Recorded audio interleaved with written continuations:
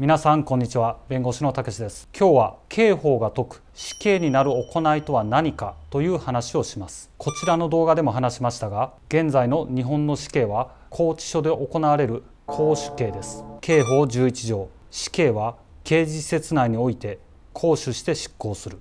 ではそもそもこの死刑を定める刑法とは何なのでしょうか？どういう基準から刑法は死刑を定めているのか？刑法の成り立ちに遡って話していきます。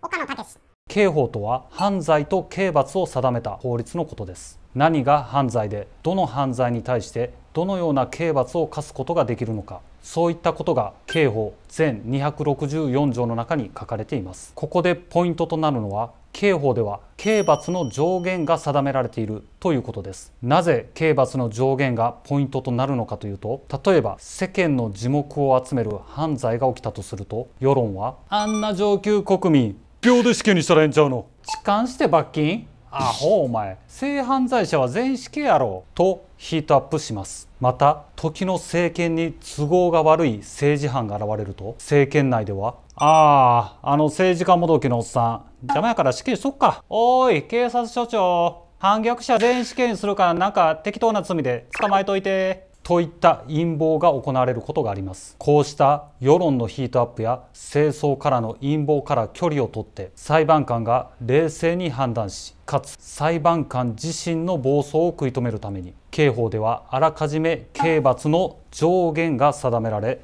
処罰の行き過ぎを予防しているのです。例えば死亡事故においては自動車運転死傷処罰法によると自動車の運転で死亡事故を起こした場合には7年以下の懲役もしくは禁錮または100万円以下の罰金に処する。このように定められています。したがっていくら世論が被告人を死刑にしろとヒートアップしたとしてもまた裁判官が個人的にこの被告人残虐非道で許せない。こいつに値する刑罰は死刑しかない。と思ったとしてもこの運転手には最高で7年の懲役刑しか下せないのです。問題はこのような刑法の機能に照らした時に刑法があえて死刑を設けた犯罪は何かという点です。現行の刑法があえて死刑を設けた犯罪は次の12個です。死刑が設けられた犯罪。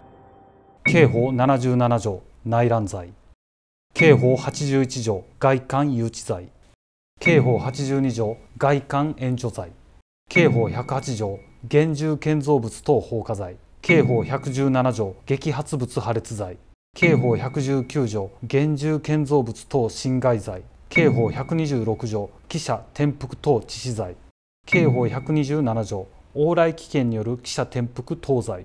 刑法146条水道毒物等混入致死罪。刑法199条殺人罪。刑法240条強盗致死罪。刑法241条強盗強制性交等致死罪。